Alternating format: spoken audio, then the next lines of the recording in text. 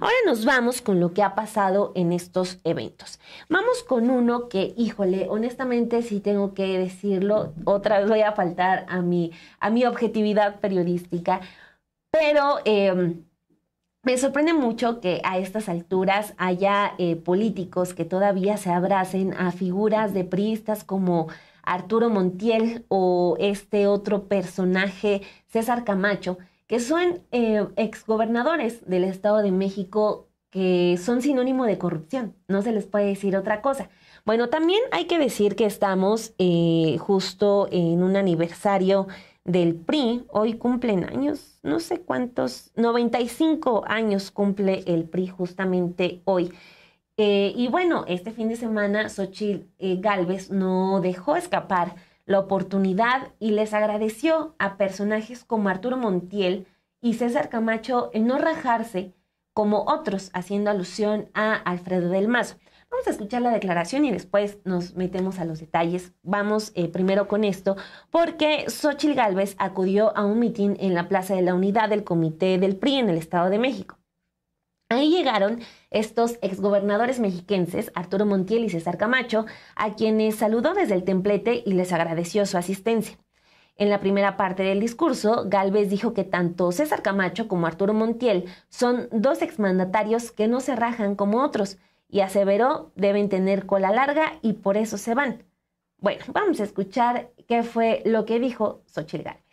Alejandro Castro, muchas gracias a Mercedes Colín, a los exgobernadores César Camacho y Arturo Montiel, estos gobernadores que no se rajan como otro que ya conocemos. De ese tamaño debe tener la cola larga, por eso se van, para que no los metan a la cárcel. Queridas amigas y amigos priistas, ¿Están listos para luchar por el alma de México? ¿Están listos para ganar?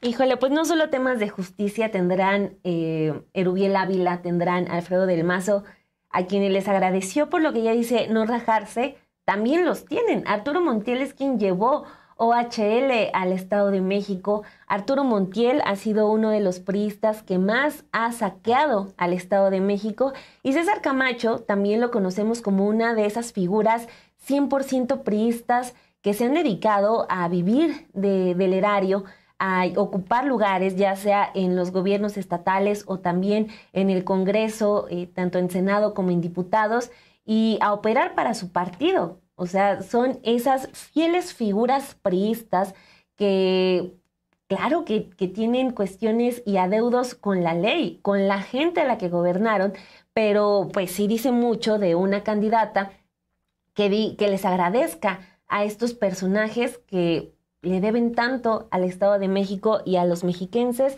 Y eh, Xochitl Gálvez, aunque en mucho tiempo criticó al PRI, pues ahora se abraza incluso a esos dos dinosaurios, César Camacho y Arturo Montiel.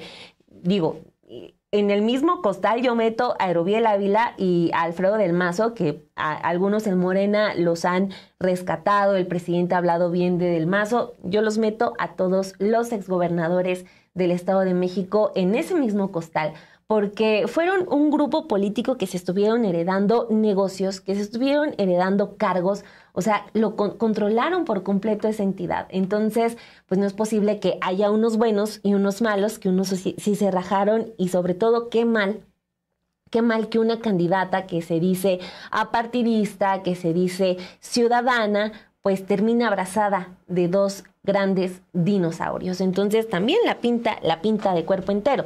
Estuvo acompañada ahí por Alejandro Moreno, dirigente del PRI, y en su discurso eh, Xochitl Gálvez pidió el respaldo a los priistas y aseguró que la alianza opositora obtendrá la mayoría del Congreso para impulsar las reformas que se requieren para recuperar a México.